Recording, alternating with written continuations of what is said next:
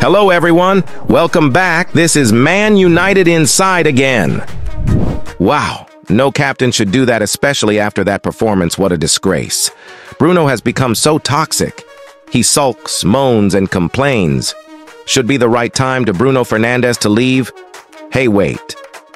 In the exciting world of soccer, things can get pretty intense, especially when it comes to players like Bruno Fernandes. He's a big deal for Manchester United, but this time, he's not making headlines for the right reasons. During a game against Fulham, Fernandes did something that really got fans talking, and not in a good way. Instead of dazzling everyone with his skills, he decided to fake an injury, and fans were not happy about it. Picture this. Fernandes had the ball and he was getting ready to make a move. But instead of being tackled by an opponent, he suddenly fell to the ground, holding his ankle like he was in pain. It looked like he got hurt, but it turns out he was just pretending. Referee Michael Oliver stopped the game, thinking Fernandes was seriously injured. But just as quickly as he went down, Fernandes got back up, acting like nothing had happened. Fans were furious. They felt like he was trying to trick the referee into giving him an advantage. Social media blew up with people criticizing Fernandes for what he did. They shared memes and jokes, comparing him to other players who have done similar things in the past. But despite all the backlash, Fernandes didn't seem bothered. He kept playing like nothing had happened, showing off his skills like always. Some fans were disappointed, seeing this as a stain on his otherwise great career, but others just saw it as another crazy moment in soccer. Even though Fernandes upset a lot of people with his stunt, one thing's for sure.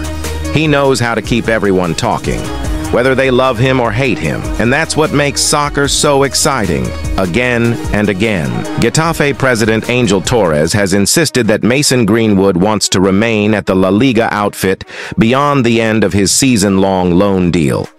The Manchester United striker, 22, joined Getafe temporarily in September after it was determined that he had no future at Old Trafford. Greenwood was arrested back in October 2022 and subsequently charged with attempted rape, engaging in controlling and coercive behavior, and assault occasioning actual bodily harm. Those charges were later dropped by the Crown Prosecution Service. While it was expected Greenwood would be sold next summer, Comments made earlier this week by new United co-owner Sir Jim Ratcliffe seemed to imply the forward could yet return to the club. Torres, though, has not given up hope of finding a way to keep Greenwood at Getafe for a longer period. And, crucially, he claims that the former England international wants to stay put. Speaking to Spanish radio station COPE, he said, he has a clear conscience. He is very comfortable and crazy about staying another year. It's a matter that they, United, have to decide. There is new ownership. They have to decide. In Spain, he has a market, but they, Barcelona, have money. Barca's way of playing would suit him well, but it depends on Manchester United. If it's true, he'll tell me. Greenwood has been in fair form for Getafe this term, contributing five goals and five assists in 21 league appearances. Jose Bordalas' side are currently 10th in the La Liga table, heading into the latest round of fixtures. Greenwood's future has once again been debated after Ratcliffe refused to rule out the possibility of the striker having a future at United. The Ineos chief said of the situation, We will make a decision. Correct. All I can do is talk about the principle of how we will approach decisions like that. Is he the right type of footballer? Are we happy with if he is a good person or not? He's a Manchester United footballer, so we are in charge of football. So the answer is, yeah, we have to make decisions. It's quite clear we have to make a decision. There is no decision that's been made. He's on loan, obviously, but he's not the only one. We've got one or two footballers that we have to deal with and we have to make a decision on, so we will do that. The process will be, understand the facts, not the hype.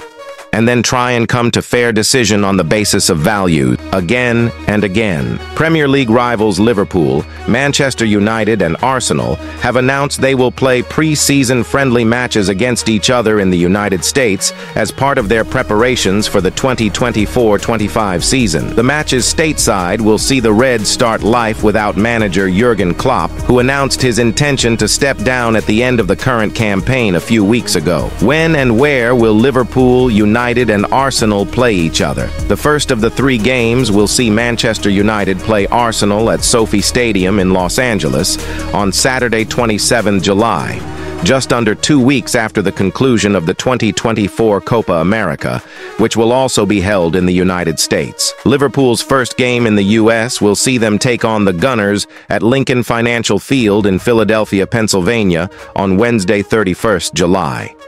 The Reds will then follow that up with a game against bitter rivals United at Williams-Brice Stadium in Columbia, South Carolina on Saturday, 3rd August. In a statement on the club's official website, Liverpool commercial director Ben Latty said, Preseason tours always present exceptional opportunities for our supporters, the team, and our official partners to engage in memorable experiences within a key focus market for the club. We know millions of super passionate American fans love this club and what we stand for, a fact underlined when our televised game with Arsenal in December became the most watched Premier League game in U.S. history. The USA is an important market for the club and our partners, with 67 official supporters clubs, international academies across 12 states, and the USA being the number one international market for our merchandising business. We eagerly await the opportunity to bring the club closer to the fans and look forward to playing in these iconic venues. How can I buy tickets to see Liverpool, Manchester United, and Arsenal in the United States in 2024? Supporters can already register their interest in obtaining tickets for the matches with each of the clubs involved. Liverpool Liverpool fans can do so on the club website, which indicates tickets for their two games will go on general sale to the public from 9 a.m. ET, 6 a.m. PT on Tuesday, 27 February. LFC official members, season ticket holders, official LFC supporters clubs, hospitality members, and international academies can purchase tickets from 9 a.m. EST 6 a.m. PST on Monday, February 26 using a pre-sale code. Again and again. Behind the scenes, the Red Devils have already begun to act. Man United are reportedly considering Bayer Leverkusen midfielder Exequiel Palacios, according to a Sport Bild report. Bayer Leverkusen's fortunes have turned around thanks to Xabi Alonso, and the German team is currently playing like a winning machine. This season, Alonso's Bayer are top of the Bundesliga standings and looking likely to end the domination of Bayern Munich. Under Xabi Alonso's tutelage, Exequiel Palacios has significantly improved. The 25-year-old has contributed seven goals while playing primarily in a defensive role. The midfielder from Argentina is reportedly admired by Manchester United. There are rumors that the Red Devils and Leverkusen are already discussing a potential summer deal. Exequiel Palacios' contract with Bayer Leverkusen does not have a release clause, and his services will come at a high cost. Manchester United are unbeaten so far in the new year, but their record could be in danger following another spate of injuries. Lisandro Martinez and Luke Shaw are both sidelined for the foreseeable future, and their absence will be a huge blow for Erik Ten Hag. That was not all as news broke of inform Rasmus Højlund suffering a muscle injury that will keep him out for a couple of weeks, and fans are fearing the team will lose its momentum en route to Champions League qualification. The Red Devils, who are currently sixth, are three points behind Aston Villa and five behind Tottenham Hotspur, and new minority stakeholders Ineos are desperate to see the side finish in the top four. Again and again, links have emerged with the likes of Graham Potter, Julian Lopetegui, Roberto De Zerbi, and Francesco Farioli, while Thomas Tuchel has also expressed his interest in the job.